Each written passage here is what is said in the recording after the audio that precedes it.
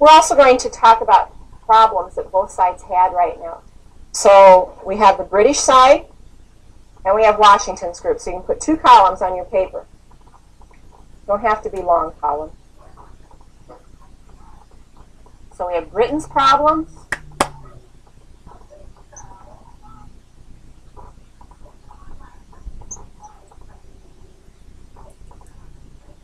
And we have Washington's problem.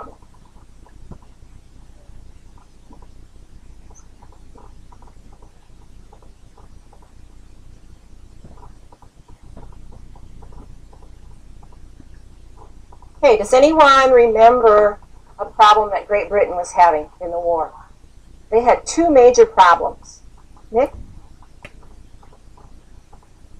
Okay, tea was a problem earlier, wasn't it? We didn't want to pay that tax on tea. Tess. All right, distance. They were a long ways away from where they were fighting. They were way across an ocean. Right? Distance was a problem, and Brett? Now, they didn't have problems with that. Remember, they had a trained army that had the red coats, and they were ready to go. What was their other problem, Lacey? Okay, that would be distance. Chris? Being sure that people knew how to fire the cannons? No. Tell you what, it was the size of the colonies. They had so much area to try to regain. So the size of the colonies was a problem for them. All right, what about Washington? Lacey.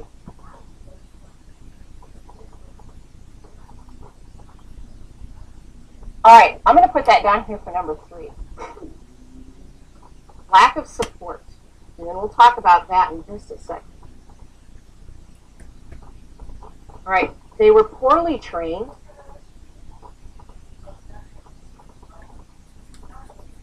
And they lacked supplies.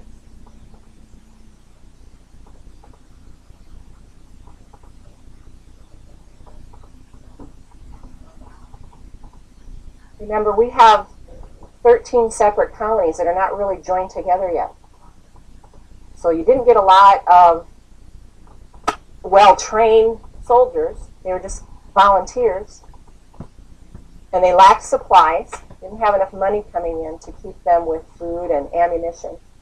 And also, there was a lack of support. We're going to look at a pie graph.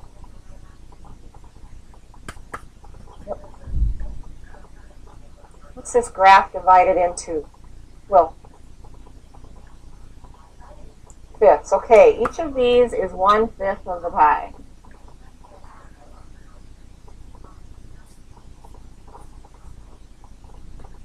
This is going to show you the lack of support that Washington had at the beginning of the war.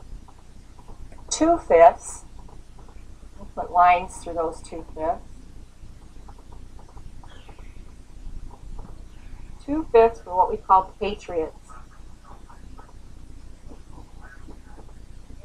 And a patriot was someone who supported the war. They wanted to break away from Great Britain. So they supported colony.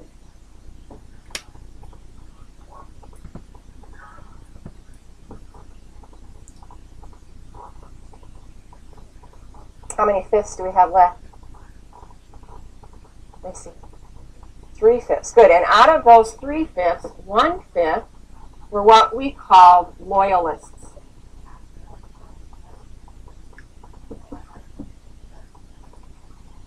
They were loyal to who? Great Britain, right?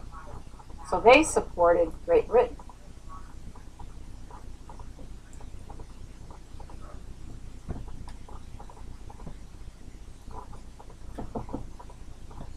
The two fifths that are remaining, they didn't know. They were undecided.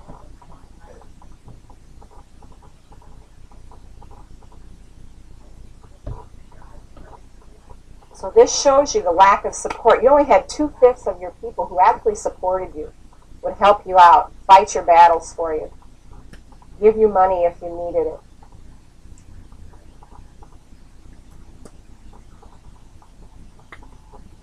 A couple seconds to catch up on your notes.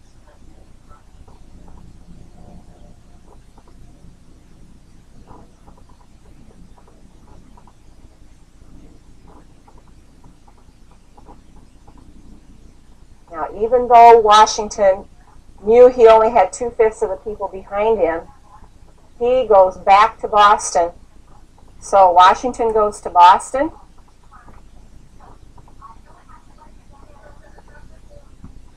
And he surrounds the city with his troops. But something's missing. What still isn't there? Let's just wait. I'll run it off. What's not there yet, Brett? The cannon. So here's where Henry Knox comes in. Henry Knox was someone who worked with Washington, and Washington sent Henry Knox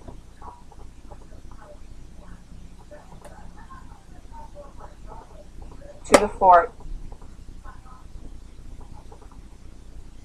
for the cannons. Now it was a long, hard journey, and we are talking about March 1776. No, 75. 76. So what time of year is it in New England? What season? Kevin, winter. Okay, so they had not only rough terrain to get over, but now they've got bad weather to deal with. But he's very speedy. He gets those cannons down to Boston and they set them up around the city so that here we go another morning when the british wake up all of a sudden they're looking at all these cannons pointed down at the city. Now the british general who's in charge of boston says okay we surrender but if you don't let us leave peacefully we're going to destroy the city before we leave or before you come in and take it over. So washington was very smart and he let them leave. So it save the city of Boston. So the first year, here we have our colonies getting an army together, and they've won some major battles, or at least they did very well in them. And also, they've proven to the British now that they can really fight, and the British aren't going to get this done so easily. Any questions? Okay, your assignment for tomorrow then is to read lesson two if you've not done so already, and take notes over the words in blue.